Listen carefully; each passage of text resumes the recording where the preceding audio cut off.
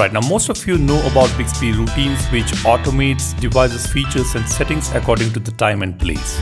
And I'm sure you are also aware that there is a GoodLock module called Routines Plus which makes the Bixby routines more powerful by adding more features to it. Now inside this Routines Plus module, we have got something called touch macro which not many of you would be aware of. So in this video, I wanted to explain you guys what exactly is this touch macro, how exactly it works. Before we go ahead, if you love watching contents like this, make sure to subscribe to the channel. Let's target at least 500 likes for this video, so go ahead and smash that like button as well. Now, let's get started. Let's open GoodLock application. As you can see here, we have got Routines Plus. Let me tap on this now. Here we have got some additional routines which can be created and these are integrated into the main routines feature on your phone. Now here you see we have run a touch macro. Let's tap on this. Here it says run a touch macro if condition is start manually. So we don't have any other options here for the if condition. We can only start it manually, which means we will create a widget on the home screen. We can just tap on that to start this routine manually. Now the then condition. Now in the then condition, it says touch macro not set. So we will have to create a touch macro here. Let's tap on this and tap on add. Now let's select an application. Uh, for the purpose of this video, I will select clock. I'll tap on next. Now you can see we have got an all new window here which shows play, record, remove, clear all, hide, save and close options. Here we can record the touch actions. Let me tap on record.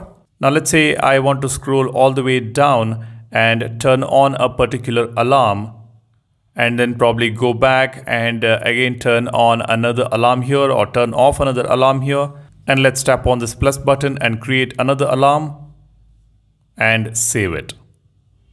Now these are the actions which I have created using touch macro. Once it's done, I will tap on stop and then we have this option save. I will tap on save. We can enter the touch macro name here.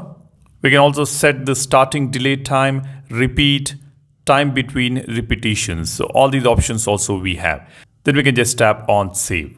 After we do this, we need to save this touch macro to create a widget on the home screen. Let me just tap on save. It says add to home screen. I will tap on add. Now we have got an all new widget for this touch macro we have just created. Let's go to home screen. As you can see, we have this touch macro. When I tap on this widget, the touch macro is going to run. As you can see, whatever the actions we have created is running on its own. It is setting the alarm, it is turning off the alarm, it is creating an alarm as well. So whatever we have created is being executed here automatically. That is just crazy, isn't it? This is the next level automation we have on a phone. Now recently we also got an update for this touch macro which added a cool new feature as you can see at the bottom right corner we had got this stop or close buttons as well when the touch macro is running. Now this was not there before. Now let's say if you have started this touch macro you can also immediately close it or pause it by tapping on these buttons. This is a new feature which was added with this all new update we received uh, just a couple of weeks ago. This is just a brilliant feature which has been added by Samsung on its Bixby Routines Plus module on GoodLock.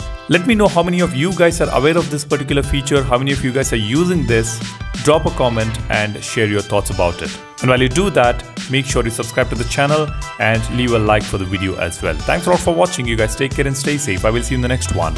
Cheers. Bye-bye.